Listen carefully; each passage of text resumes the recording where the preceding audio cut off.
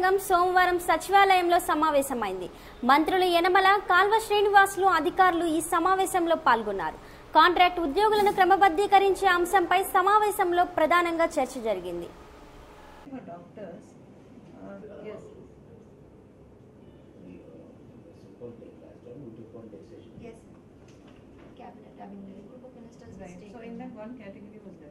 Then we'll have to add that one. Same thing will get added. That decision is taken.